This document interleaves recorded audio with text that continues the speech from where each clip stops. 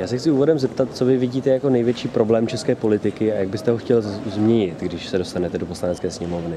Ten největší problém je, že čeští politici minimálně na té úrovni celostátní poměrně málo reprezentují zájmy svých voličů.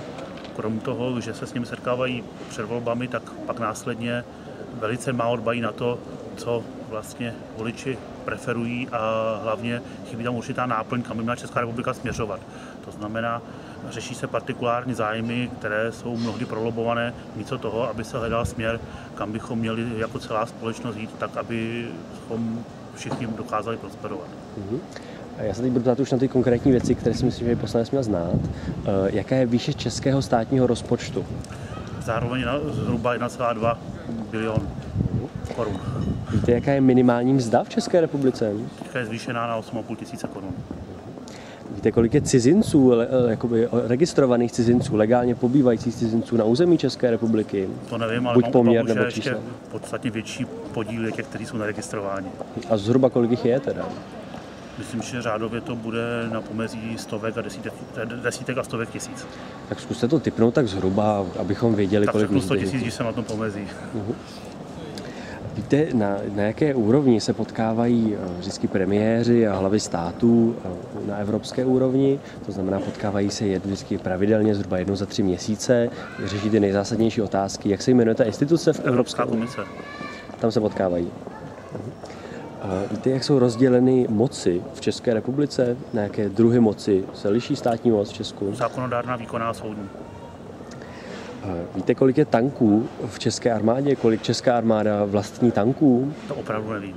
A tak to zkuste typnout, kolik je zhruba, jak zhruba je tak velká ta, ta. Myslím, že to je v řádu tisíc, ale opravdu myslím, že není důležité, abych tady odhadoval Mhm. číslo, který nevím.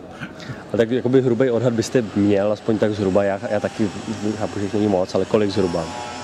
Já si myslím, že je pro mě důležitější vědět, kolik máme CT a kolik máme na pacienty, kteří jsou v oblasti zdravotnictví, kterému se chci věnovat platby od pojišťoven a myslím si, že tady budu hrát na experta na armádu. Přesto se vás zeptám, víte, kolik je mešit v České republice, to znamená uh, míst, kam se chodí organizovaně modlit lidé, kteří vyznávají islám? Pokládám, že do deseti. Kdo vyhlašuje válečný stav v České republice? Když se vyhlašuje válka, tak kdo ho vyhlašuje z pohledu Česka?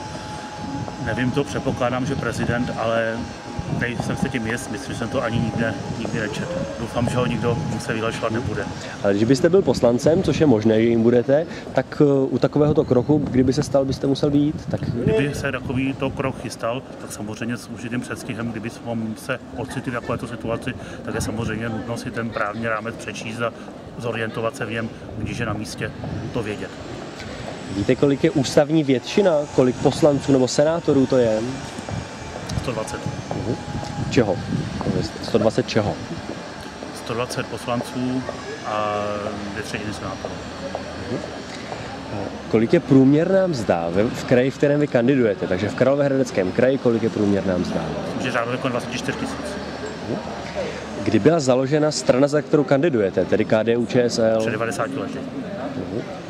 Eh, Je, víte, Česká republika používala Gripeny, ty nazvuková letadla švédské výroby a jakým způsobem teď byla prodloužena smlouva a je to, je to vlastně eh, koupě, anebo jsou tyto letadla propůjčena pouze? Je to dál propůjčení.